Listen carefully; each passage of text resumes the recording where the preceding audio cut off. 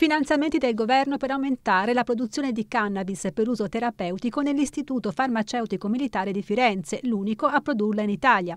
È questa la richiesta che il presidente della regione Enrico Rossi rivolgerà alla ministra della Salute Giulia Grillo. Nelle immagini vedete la visita del presidente nella sede dell'istituto, dove ha preso visione delle serre ermeticamente chiuse, illuminate e riscaldate artificialmente e del grandissimo capannone che ne potrebbe ospitare molte altre. Il consumo annuale di cannabis terapeutica terapeutica in Italia si aggira intorno ai 700 kg all'anno. Quest'anno l'Istituto Farmaceutico Militare ne produrrà circa 150, che dovrebbero aumentare a 300 grazie ad alcuni finanziamenti governativi. Noi abbiamo in programma anche di iniziare alla distribuzione non solo delle infiorescenze essiccate, delle due varietà che facciamo, ma anche dell'estratto in olio che è molto atteso dai pazienti e dai farmacisti perché faremo un, olio, eh, un estratto in olio di grado farmaceutico titolato. Nel corso della visita il Presidente Rossi ha parlato della necessità di aumentare ulteriormente la produzione e gli investimenti.